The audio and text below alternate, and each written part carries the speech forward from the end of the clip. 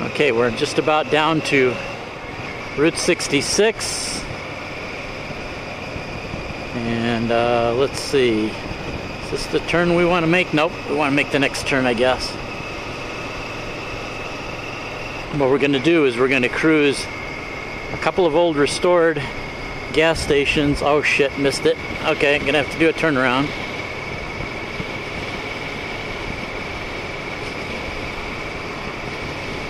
No biggie.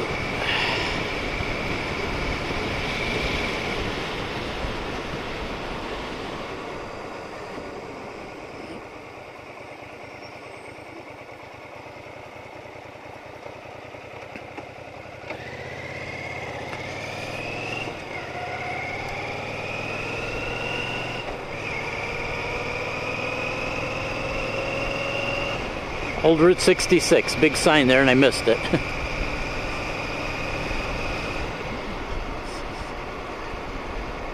Mm-hmm.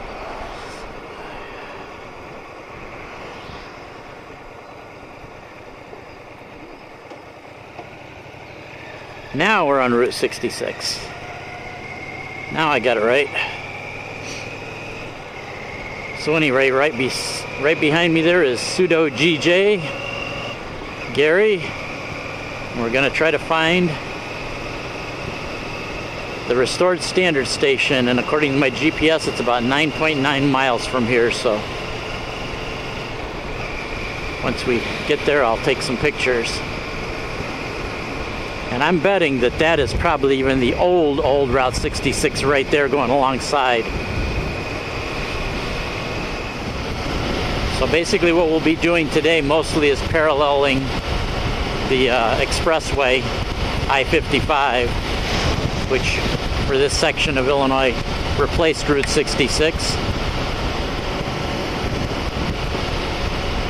Now see if people had a dual sport motorcycle, they could actually jump up on that pavement and ride some of the original. I don't know what that dates from. Maybe that's pavement from back in the 40s and 50s. Not really sure.